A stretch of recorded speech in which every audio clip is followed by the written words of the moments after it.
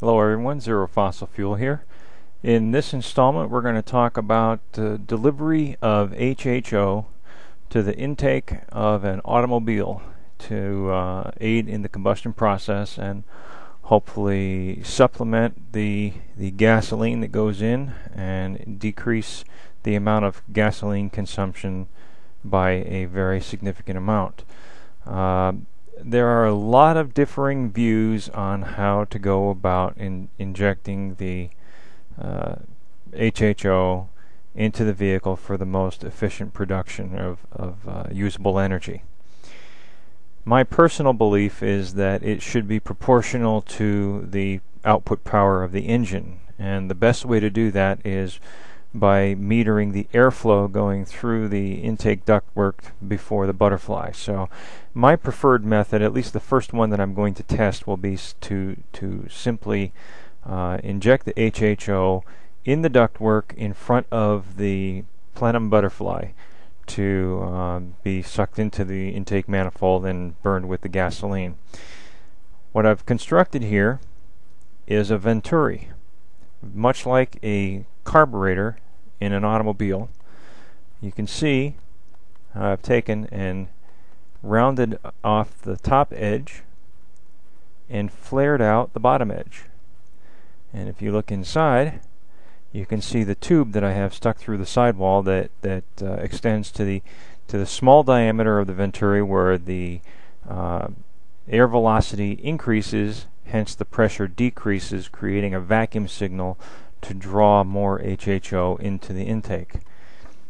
This Venturi started life as a couple of pieces of PVC that I uh, fitted together. They were, they were snug to begin with, and I simply glued them together with PCV adhesive, PVC adhesive, and uh, used a file for the rounded edge, and then I took a, a, a drill in a drill press and kind of held it against the side of the drill to make the flared end, at least to rough it out, and then I finished that off with a file also.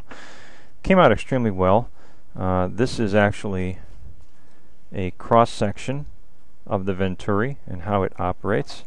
It is actually drawn to scale, and you can see here this is the tube from which the HHO is fed, coming into the center of the Venturi where the velocity is highest, and then back out toward the butterfly of the plenum in, in the vehicle. In just a moment, I'm going to show it to you assembled in inside the duct itself.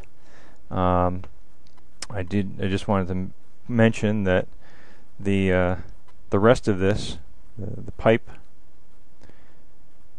that feeds the HHO, began its life as a Bic pen, and I just salvaged the the pieces and used that to create this little beauty. Stand by, I'll show it to you uh, installed inside the inside the ductwork. This is the ductwork upside down, but uh, I had to mount it this way because of the uh, close camera angle here.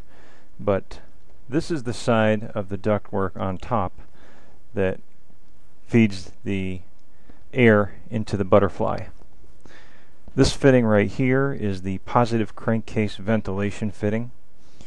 And uh, it is in front of the Venturi that I've created.